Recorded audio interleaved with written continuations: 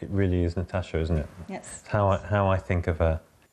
There isn't a day when Natasha's parents don't think about the daughter they lost. But today, at least, they can take pride in a new law, Natasha's Law, the result of their years of campaigning to protect others at risk through food allergies.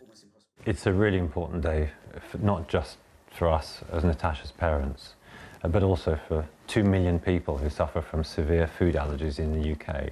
This is D-Day, Deliverance Day for those people, and um, you know one can't actually play down how, how important that is. Natasha's law requires the clear labelling of all ingredients and allergens in food that is pre-packed for direct sale.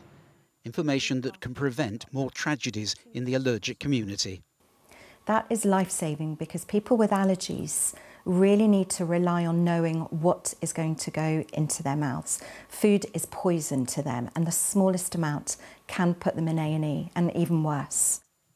15-year-old Natasha had been on holiday with best friend Bethany Holloway when she went into cardiac arrest after eating unlabelled sesame seeds in a pret-a-manger sandwich.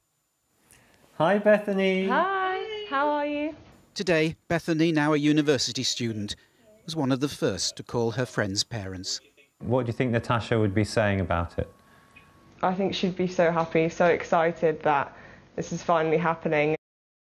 Inseparable from early school days, Bethany would later watch her closest friend die.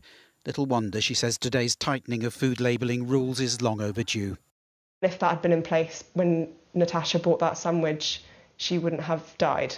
So it is an incredible law that is now in place, which should have been placed a long time ago, really, but now it's just, we're grateful that it's finally happened.